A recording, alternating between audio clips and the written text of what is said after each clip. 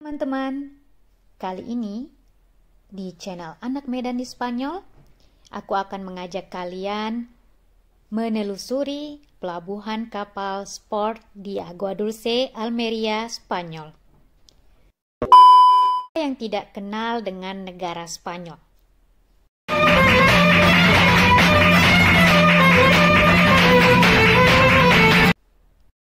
Negara yang paling banyak dikunjungi di dunia.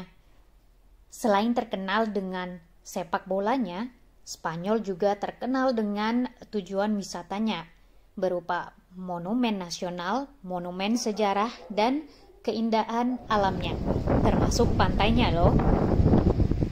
Maka tak heran jika Spanyol memiliki banyak pelabuhan sport karena negaranya juga yang banyak memiliki pinggiran pantai. Di salah satu provinsi di Spanyol, yaitu di Almeria, daerah selatan Spanyol, juga terdapat banyak sekali pelabuhan untuk kapal sport yang digunakan untuk para turis dari mancanegara. Untuk melabuhkan kapalnya, biasanya yang paling banyak turis itu biasanya dari Inggris uh, atau dari Perancis.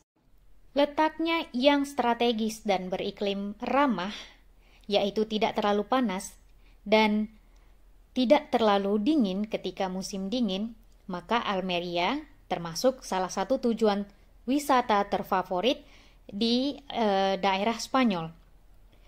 Banyak e, turis yang berdatangan dari berbagai daerah, baik darat, laut, dan udara.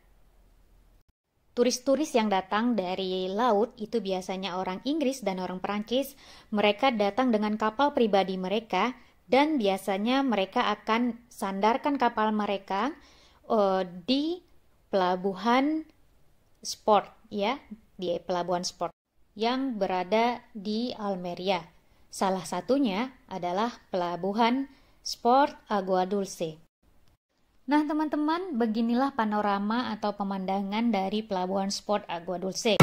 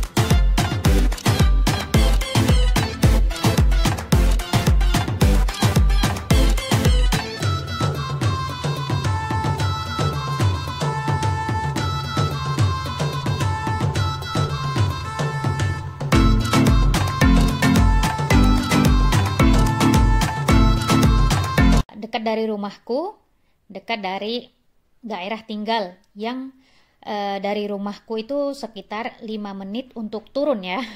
Tapi kalau naik sekitar kurang lebih 20 kalau mendaki. Karena tanjakan ya teman-teman, aku tinggal di atas bukit. Nah, itu dia rumahku di atas bukit. Itu ada perumahan dengan pemandangan dari uh, rumahku yang sangat menakjubkan.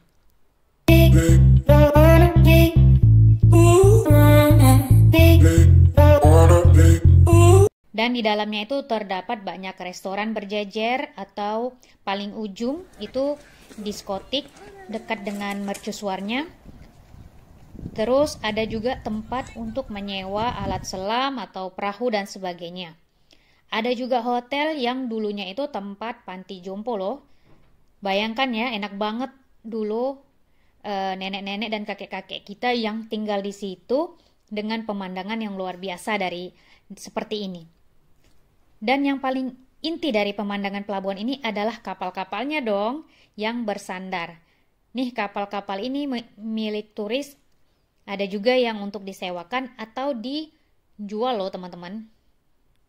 Untuk bisa bersandar di sini, para turis biasanya akan membayar uang parkir per bulan minimal 1000 euro loh. Jadi ya maklum ya, hanya orang kaya yang biasanya punya kapal seperti ini ya teman-teman. Oke deh. Nah, gimana menurut teman-teman? Berikan komentar kalian di kolom komentar di bawah ini ya. Thanks for watching. See you in next video. Jangan lupa di subscribe, like, dan share ya teman-teman. Dadah!